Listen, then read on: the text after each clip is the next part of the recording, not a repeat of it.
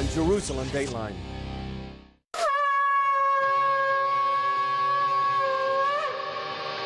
This week on Jerusalem Dateline, Trump advisors talk peace to Israel and Palestinians, but one U.S. congressman says the idea of a two state solution may be a thing of the past. Those assumptions are really in doubt, are being questioned. And, and some of the questions are what's in the best interest of the people? And a Christian country that's saying no to the European Union's Islamic blackmail. Plus, 120 years since Jewish people decided on a state. All this and more this week on Jerusalem Dateline. Hello, and welcome to this edition of Jerusalem Dateline. I'm Julie Stahl, filling in for Chris Mitchell. President Trump is pressing ahead with the Israeli Palestinian peace process, but visiting U.S. congressmen say the situation on the ground is not what it seems. Israeli Prime Minister Benjamin Netanyahu met with Trump advisors Jared Kushner and Jason Greenblatt in Tel Aviv. We have uh, a lot of uh, things to talk about. How to uh, advance peace, stability, and security in our region, prosperity too. And I think uh, all of them are within our reach. The president is very committed to uh, achieving a solution here that will be able to bring prosperity and peace to all people in this area.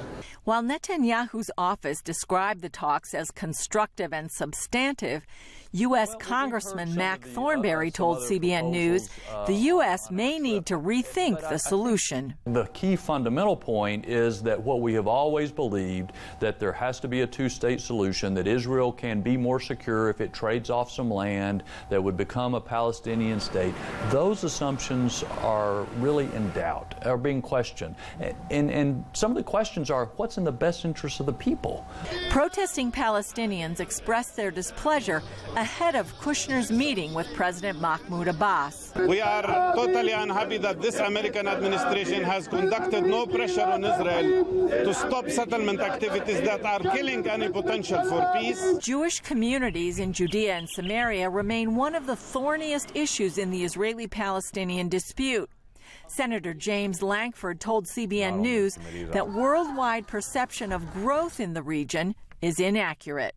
A lot of the growth, just population growth, uh, what some people call settlements, is really just new people born and new houses need to be built. Uh, so there's a lot of those new neighborhoods that are coming up, as well as expansion of existing neighborhoods, just to support the population of so many Jews moving from around the world. Uh, still to Israel, as well as those that are born here, uh, just needing new places. And Lankford says there's more that you don't see in the media. In just a couple of years since I've been in the uh, Samaria area, for instance, uh, there's been a tremendous amount of growth in factories and development. Many of those factories uh, popping up in that area have Israelis and Palestinians working together side by side. Thornberry hopes there's change ahead. If we are creative and think outside the box, maybe that, that there are new possibilities. And, and that's in everybody's best interest, especially the people who live in Israel and in the West Bank area. Both congressmen made it clear it's ultimately up to the Israelis and Palestinians to make peace, not the U.S. It's enough to make a lot of Westerners jealous. A nation that has rediscovered its Christian roots, has closed its borders to illegal immigrants, and has rewritten its constitution to protect the family and the unborn.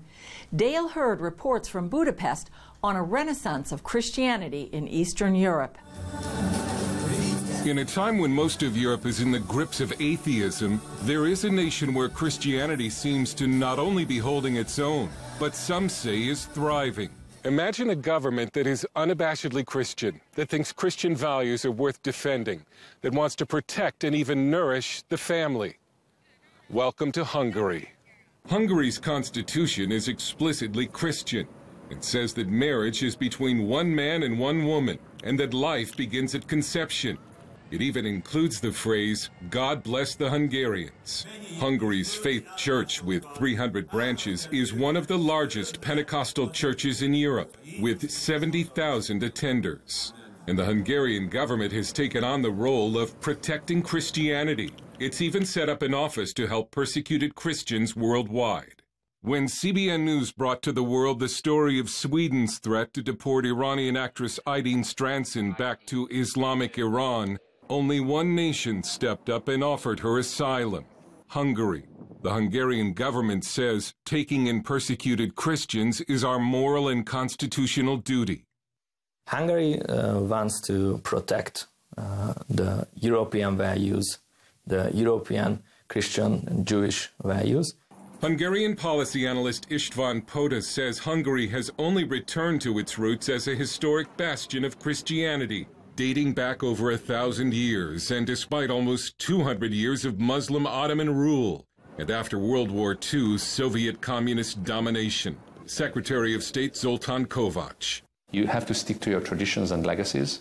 Europe's legacy is a Christian legacy, not necessarily in a religious form, but most definitely in a cultural form. And it's this belief that has Hungary locked in a battle with the European Union over migrants. Mr. Orban has accused the EU of trying to Islamize Europe. And Hungary has infuriated Brussels by building a fence to keep illegal migrants out. The European Union is ticked because Viktor Orban has told Brussels to essentially take a hike when it comes to open borders. Hungary has seen the terrorism and chaos caused by migration in Western Europe and has said, not here. The European Union has even gone to court to force Hungary, Poland, and the Czech Republic to take in migrants. Mr. Orban has accused Brussels of blackmail. Securing the borders to stop illegal migration is indeed a solution and is the only way actually to reinstate law and order at the borders of the European Union, and not the other way around. Kovács says it matters that most of the migrants trying to enter Hungary are Muslim, and he says Western European nations are paying a heavy price by pretending that Islam doesn't matter. We've been living together or living close to uh, Islam for centuries uh, in the past, and we all know about it. So that's why it, it does matter who is coming and in what manner uh, people are coming. Orban is often portrayed in the Western media as sort of a version of Vladimir Putin, an undemocratic strongman. In fact, at an EU summit a few years ago, the European Commission president reportedly greeted Orban with the words, Hello, dictator.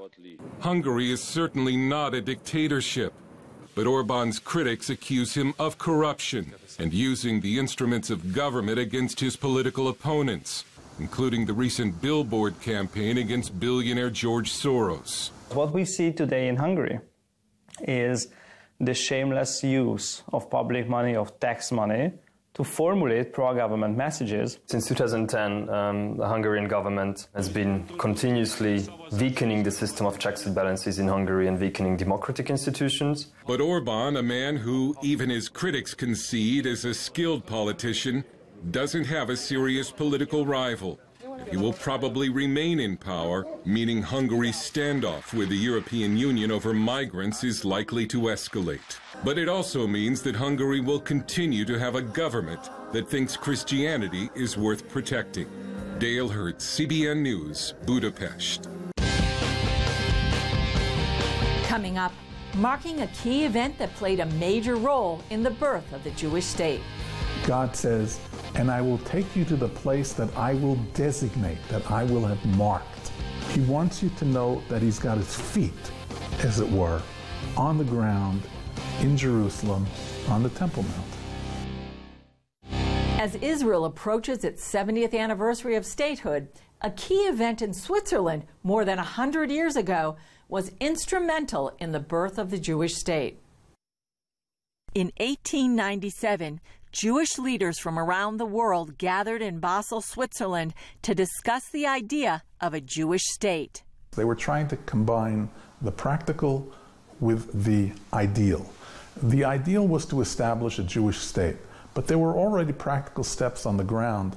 Historian Michael Widlanski says Jewish pioneers were already here trying to farm the barren land. Theodore Herzl said, We need a state. And he predicted that in 50 years from 1897, there would be a Jewish state. And sure enough, there was.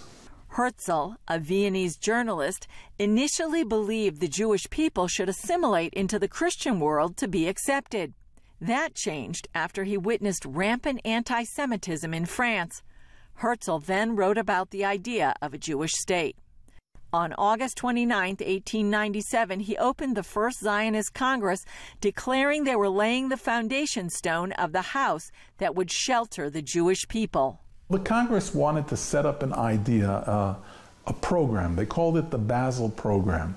It was a very starry eyed program, but with its feet on the ground.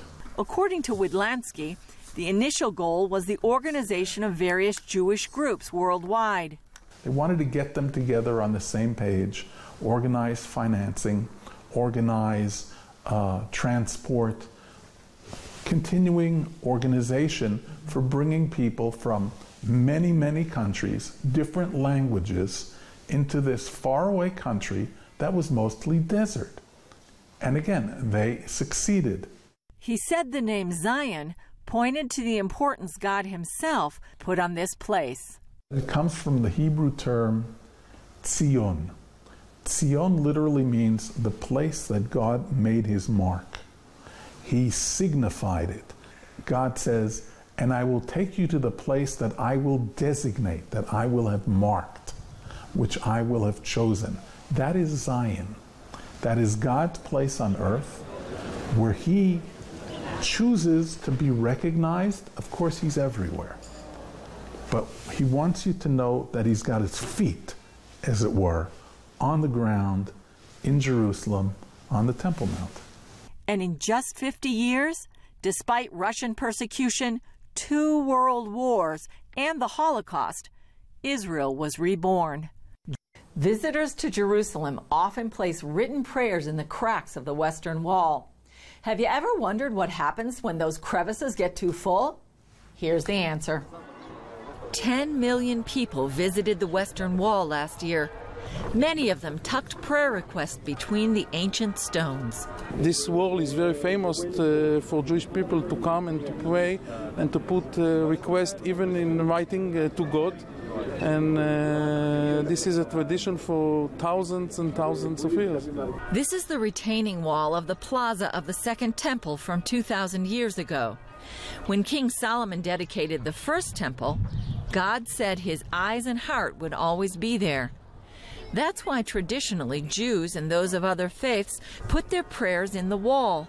If they can't make the trip, they send their requests via post, email, or even text. So, what happens when those cracks get too full? Twice a year, the prayer slips are removed from the old stones. Western Wall Rabbi Shmuel Rabinovich says no one reads the papers because they're notes between man and his creator. Workers collect the notes, bundle them in bags, and later bury them in the cemetery on the Mount of Olives. According to Jewish religious practice, it's forbidden to destroy anything on which the name of God is written. That means these little prayer slips are treated with the same respect as worn or damaged Torah scrolls and prayer books. Up next, a Jewish man who found refuge during World War II in China and in God. And my father told me that the Word of God kept him alive. During World War II, European Jews who could escape the terror of Nazi Germany fled to some of the most unlikely places. Here's the story of one man who found refuge in Shanghai, China, and in God. It was part of history that no one can forget. During the reign of Nazi dictator Adolf Hitler, Jews lived under daily terror. Their synagogues were burned, and millions were sent to concentration camps. Six million perished. Some nations opened their doors to the fleeing Jews. China was one of them. Many Jewish families applied for visas to come to China. All of a sudden, cities like Shanghai became home of the Jewish refugees. Many were relieved that China was a safe place, a country that changed their lives. Elizabeth Linton was born in Austria. She and her husband recently visited Shanghai, China, not for sightseeing, but in memory of her deceased father, Michael Weiss, who came to Shanghai after fleeing the Holocaust. Weiss was born in Vienna, Austria, after Hitler overran the country. As they drew, he realized that he couldn't safely remain in the country. Uh, after he came to Shanghai, he um, was working as an engineer. He had graduated from the university in Vienna. He was about 25 years old at the time. When I hear stories about how the nations, many of the nations, including America, uh, turned away Jewish people seeking refuge, it, uh, it really is heartbreaking when you think about it. But look at what the Chinese people did. They opened their arms to a persecuted people. Some came without visas, some came without passports, without proper documentation. And soon after, he met the uh, Stearns family, Theodore and Carol Stearns. They had four children, and they introduced him to Watchman Nee in the church in Shanghai. Watchman Nee was a church leader and Christian teacher who worked in China at the time. Exposed to many Chinese Christians, Weiss was deeply touched by their help and love for him. He learned about the Bible from the Chinese Christians. Watchman Nee gave him the name Johannes, and Johannes stands for John. Just when Weiss thought things would get better, the Japanese military invaded Shanghai and he was taken prisoner and sent to a concentration camp. During the imprisonment, he was threatened numerous times with death. However, Weiss only did two things read the Bible and pray. Weiss could not return to Vienna until the end of World War II. He immediately started a new life. And he prayed. I have uh, many prayers that he wrote down for his children that we would come to know God early in life and embrace the faith in God with all our hearts. Today, as she walks around the Shanghai Jewish Refugee Museum, she was drawn to all the memories here. It made it real that he, he was here. And especially the name of John that was given to him. Johannes Michael Weiss passed away in 1983. With a degree in theology studying, he never stopped giving praises for the Chinese who introduced him to the Lord. And my father told me that the Word of God kept him alive. Meng Fei Li, CBN News. Coming up, archaeology from the early church and the Bible. Finding something like this is so far the height of my career.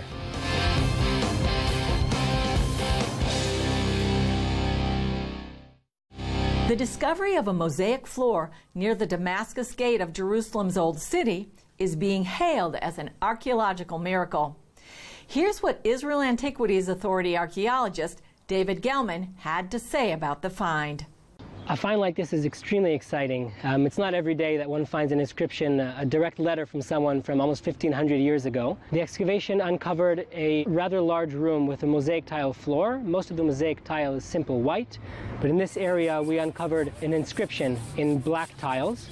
The inscription is in Greek, six rows of words. The inscription describes uh, the dating under uh, Justinian, the emperor of the Byzantine Empire in the middle of the 6th century AD and mentions the name of the man who was in charge of the project of building this building, maybe a monastery or a church. His name is Constinius. The same man is mentioned in a separate inscription inside the old city in the Nea Church, the new church of uh, Mary Mother of Jesus. This teaches us that Constinius was in charge not only of that single church inside the walls of the city, but also of a complex of churches and monasteries, of which many parts have been uncovered outside the walls of the city. The area here has been the subject of many salvage excavations, among others for before building a uh, petrol station and a large um, city road. Um, a complex of monasteries and churches have been uncovered over the past several dozen years. And this connects us to the churches inside the city. This is along the way, the main road into Jerusalem at the time. Finding something like this is so far the height of my career. Further north in the Galilee, archaeologists believe they've uncovered clues that lead them to the place of biblical Bethsaida. Take a look at what you can see on our social media channels.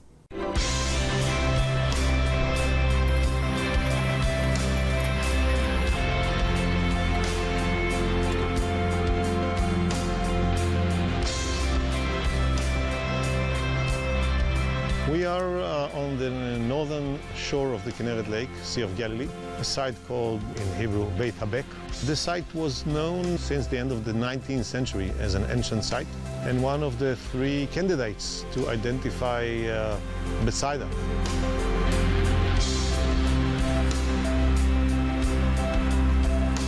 bathhouse is something that leads us to the understanding that we are within some kind of a city. Though the dig here is very small, it immediately hinted us to suggest that we discovered the city of Julias. Now, what is the city of Julias? We were talking about Bethsaida. Josephus Flavius, the Jewish historian in the first century, tells us that King Philip, the son of Herod the Great, who ruled from here to the Golan, towards Damascus, decided to upgrade the village of Bethsaida and to make it a polis by the name of Julias.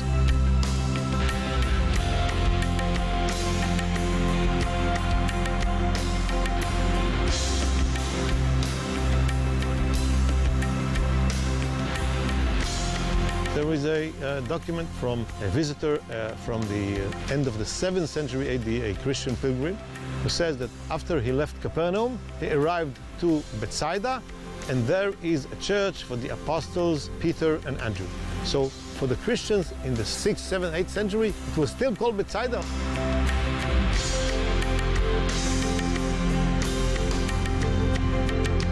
But if we will succeed in proving scientifically that this is the place of Julias, therefore Bethsaida, I think it can be developed into an interesting site for people who are interested in being in the place where the apostles lived.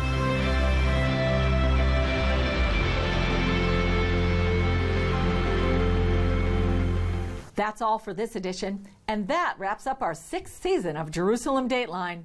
Thanks for joining us. Remember, you can follow us on Facebook, Twitter, and Instagram.